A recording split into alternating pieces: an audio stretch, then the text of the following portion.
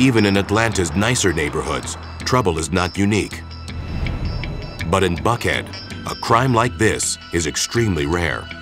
I can say probably 10 times maybe in my career that I've worked a true kidnapping. Nationally, only 4% of missing person cases are classified as involuntary, meaning a kidnapping or an abduction. Now, Monica Bowie is considered to be one of those. Hours after Monica disappears, police are still canvassing the area when they observe a suspicious man walking around her apartment complex. After watching him get in his car, police pull him over. They find out his name is Lonnie Bennett. Bennett happens to be a friend of Monica's fiancé, Rico Walters. On the passenger seat of Bennett's car, police discover a paper bag full of cash. Authorities won't reveal how much. After they bring Bennett in for questioning, they soon determine he's got a criminal history in Georgia, one that includes narcotics and theft charges. The fact that he was in that area with that money and Miss Bowie was missing. I think it's curious. I think it's very curious. The next day, back in Monica's hometown of Pittsburgh, Pennsylvania, her mother, Linda, gets a call from DeKalb County Police. And he said, I have to tell you that she is missing. Then it was like I was in a tunnel. Linda, her sister Joan, and their two daughters immediately hop in the car and drive almost 700 miles from Pittsburgh to Atlanta to meet with police. The family is more determined than frantic. I wanted Monica. You know, there's really nothing that they could say to me. It's like produce her.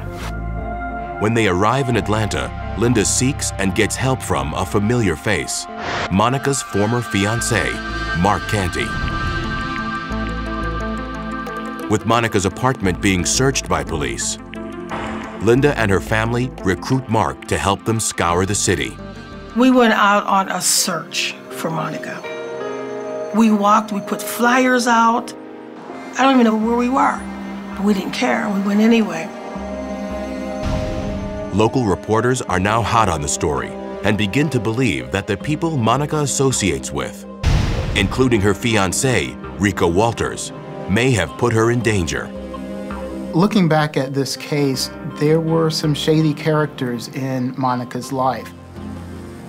Monica has a big heart, but sometimes she could put a good spin on a bad situation. She always wanted to find some good in everything. She gave people her friendship that didn't deserve it. Because of his arrest several weeks earlier, Monica's fiancé is in jail at the time she is abducted. Monica's mother wonders if Rico has information that he's not sharing. She goes to speak with him herself. And he looked me in my face and said, I didn't do anything and I really don't know anything. And I said, but I don't believe you. He couldn't have taken Monica himself. Whether he did something to put her in danger is still a question. A major break in the case occurs the day after Monica vanishes. On the west side of town, near the Hunter Hills Baptist Church, police find a burned out car. It had been reported stolen that very day. It's a Burgundy 2002 Mercury Sable. The license plate and description match that of the car that witnesses saw speeding from Monica's building on the night of July 5th. An individual was picked up in connection to the car and was held in DeKalb County. His name is Jasper Keels. According to police, Jasper Keels took the car from an acquaintance on July 4th, the day before Monica disappears. Now, it turns up after being torched and abandoned on the opposite side of town. He borrowed a car from this guy and never returned it. So it was reported stolen. And that's where the connection to Monica's abduction seems to end. Even though police are unable to link Keels to Monica's disappearance, they do arrest him for car theft and marijuana possession. Then, police take a deeper look into Monica's relationships.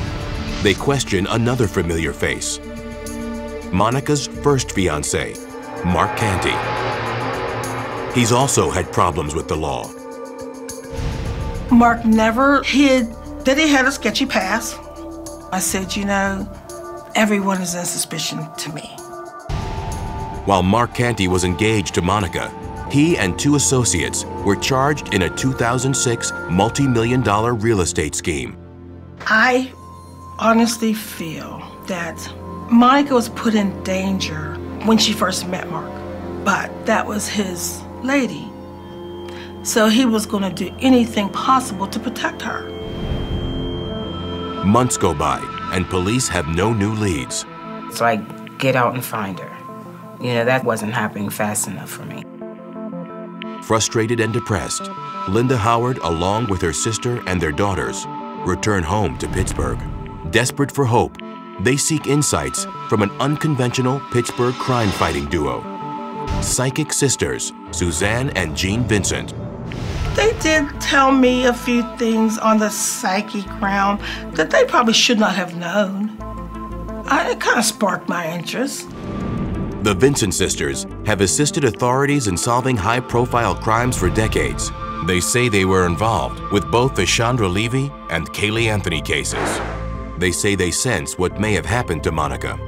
I felt the fear when I went to Berkshire Apartments. When I was outside the gates, I could see the perpetrators go through the gates.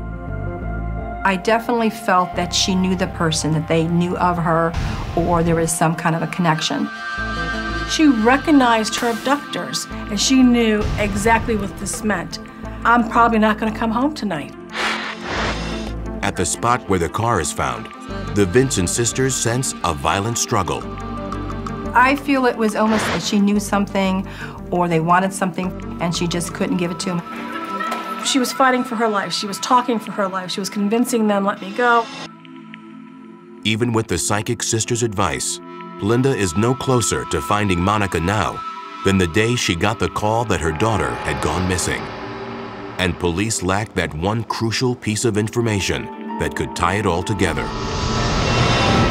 Next, with Monica's fiancé in custody, authorities look to others.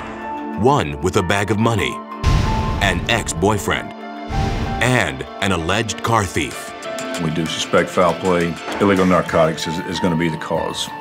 Meanwhile, the family's concern for Monica overwhelms them. Fear of not knowing, that's almost undescribable.